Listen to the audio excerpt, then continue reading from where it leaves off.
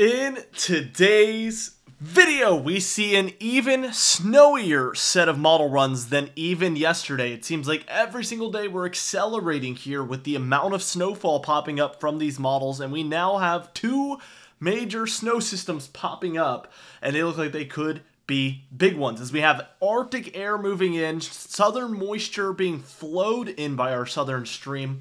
It is all the perfect ingredients for massive, massive snowfall. So we're going to go over the chances of that, the timing, and everything you need to know related to the upcoming pattern.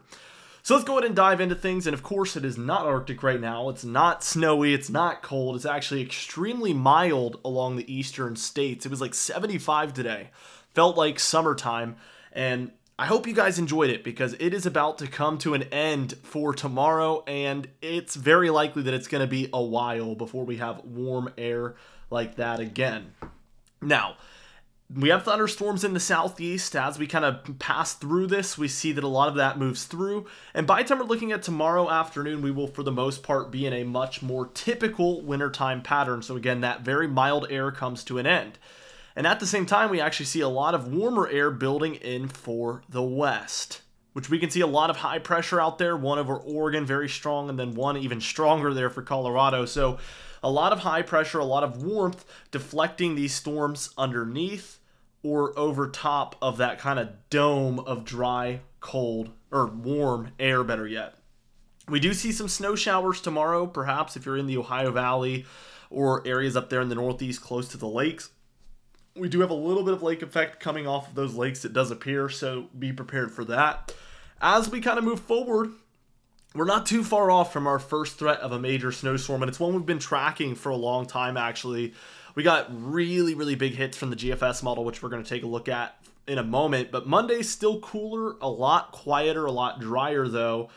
Um, so definitely uh, kind of slowing down with the storms for a minute here. Tuesday, the 13th, we do see a bit of a clipper system trying to move down into the Great Lakes, a 990 there, and this low is actually going to bring with it even more Arctic air. But for now, you can see it is bringing some snowfall to areas in Canada and also areas there over the Great Lakes.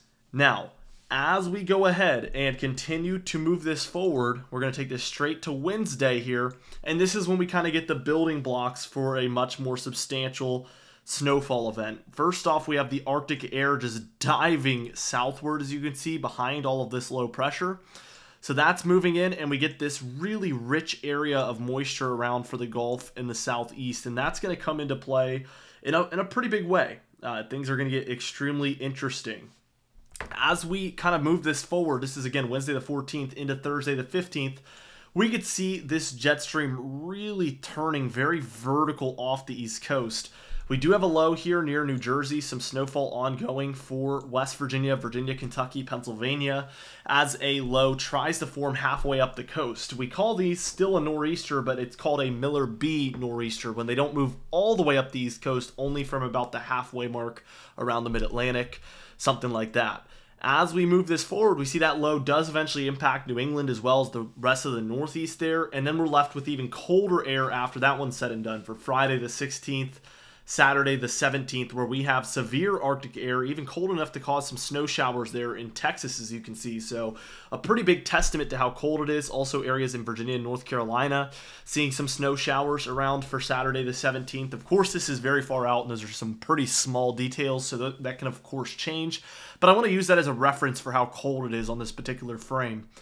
Looking forward towards Sunday, we see something very, very interesting uh, shaping up here as we get this area of moisture once again. Clearly your jet stream is doing a little dip and run out of the Gulf there, so it's able to get a lot of that energy, and it's trying to pull that northward.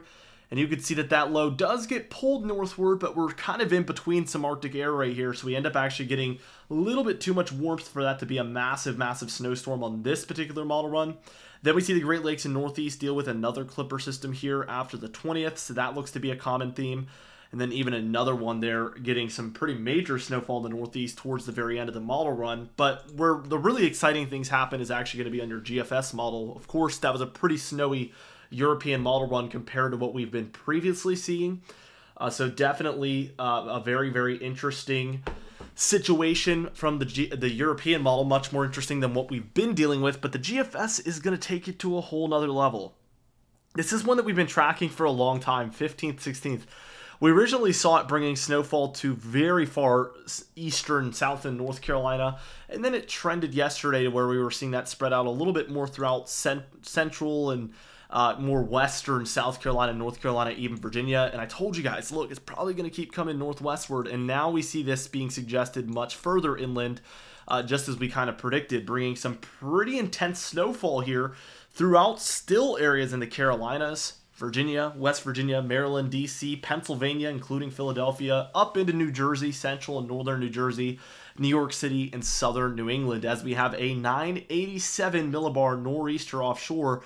We get some pretty heavy snowfall just about five or six days away. This is not a long range projection, guys. This is something that would be coming up very, very soon. And of course, again, we'll kind of reiterate on this European model just to kind of go back to it we do have pretty good agreement. Uh, let me see the exact hour that we're at here. So three, let's see, right here. That is not really a huge difference. So both of these models do have a substantial snow event here for parts of the Mid-Atlantic and Northeast coming up in just a few days all of a sudden. So we've obviously been tracking this, but again, the models weren't showing it connect yet. And a lot of people will tell me, you know, why are you uh, saying that there could be snowfall when the models don't show it? Uh, sometimes you don't it's not about what the models are exactly showing. Sometimes you got to be looking for those puzzle pieces because if all the puzzle pieces are on the table, somebody could come along and put them all together. And that is what we've seen happen here. And you always have to be alert for that type of thing to take place. And that low just kind of sits around, guys, and brings really heavy snowfall throughout the mid Atlantic coastline and southern New England, even up into Boston and the coastal Maine areas as we kind of close out Friday the 16th into Saturday the 17th. Here's where things get super interesting, though. Just a couple of days later, 17th, 18th, we've already got some moisture building. We also have this on the European model, just set up a little bit differently, uh, a little further south on the European model here for that 18th time frame. The GFS gets it a little bit more connected with that cold air, where we see Texas, Oklahoma, Arkansas, Tennessee, Kentucky. Still, this is within 10 days. This is right around actually seven days out, so the medium range, not the long range another snow threat popping up here. And this one's bringing widespread snowfall for some of the deeper south, the lower Appalachian Mountain Range, all the way through the mid Atlantic and the Northeast. Another just massive, massive snowfall event for these areas. And that actually does develop into a nor'easter type snow system offshore. I don't know why we're getting valley rainfall so far northward up into Canada here. I don't know if something went wrong with this particular model run but it looks like we're getting really weird profiles of rain where there shouldn't be. So I think that this is for the most part an error. Uh, you can't see it on screen, but I'm seeing rainfall popping up north of snowfall, even pretty close to the Hudson Bay, which would be crazy cold on this frame. So there is a, a bit of an error there with the precipitation typing, but you get the point. Uh, we do continue to see cold air after this, and honestly, not really a bad pattern later on either, as we still have a lot of energy around the southeast and Gulf states. We still have a lot of Arctic air at play, so there's no telling if there's going to be even more threats at play. We actually do get a little bit of a more horizontal system moving through the plains, Midwest, Ohio Valley, and Mid Atlantic there, as you can see close to the end of the model run, which is very far out, so take that one with a grain of salt. But uh, just kind of goes to show that we're remaining pretty favorable for snowfall, even pretty late in the model run. Now, as far as temperatures, again, we're very, very warm right now, especially along the east. We cool down immediately for tomorrow afternoon as we get blues and greens starting to move in. It's not the most massive Arctic blast in the world, but it is colder, and then we get a little bit of a warm up again for Tuesday the 13th, Wednesday the 14th, a little bit as well. And then we get some massive Arctic air moving in for Thursday the 15th, Friday the 16th, where we might have a snow system along the eastern seaboard there. And that kind of just sticks around the east coast all the way past the 20th, where we get an even more major cool down here as we start to get these purplish blues, which are 15 to 25 degrees below normal. Very, very substantial cold air moving in. And then we get another massive blast of that as well for the northeast. So very, very cold. Even another one there at the very end of the model run. This is the European, by the way, not the GFS. So uh, the GFS is actually a little bit more too uh, opportunistic with the cold, which is interesting. But we typically stick with the European model for most things. Total precipitation, again, uh, we see another day where we're getting less and less out west. And again, that is due to that higher pressure where, again, these storms are moving over and under that area not going through because it's like oil and water. It doesn't, the dry and, and moist air doesn't want to kind of mix. It wants to move around and do this kind of weird dance. So that's why we're getting the moisture just getting deflected away from this high pressure area. A lot of this kind of just meets up over the east, and we get a lot of activity there as we're moving into a very cold period. So, that is again the two puzzle pieces for snowy patterns we have right now, and we've been seeing that for about a week now. As we take a look here at the total snowfall on the European model, we do see very, very well below average snowfall out west. That is crazy for January. We do see the northern plains straight through a lot of the Midwest and into the eastern states are seeing their fair share of opportunities. And we're actually getting really good amounts for the Midwest, Great Lakes, interior mid Atlantic, and then basically the entirety of the Northeast here. But let's look at the really, really interesting one, which is the GFS model, which is where we really get hammered out here in the east for the Ohio Valley, Mid Atlantic, and Northeast. These three areas just getting tons and tons of snowfall, one to two feet on this whole model run. So very snowy from now through the end of January, according to this model. Even some very interesting snowfall far to the south, which again isn't even 10 days out. It's in the medium range, but we still want to take it with a bit of a grain of salt just because that's a more rare event. And this is kind of the first we're seeing of it on the models. We want to just let it kind of simmer and cook and see what happens. Uh, interestingly, we do see a lot more activity out west on this model compared to the European model. That's a massive difference.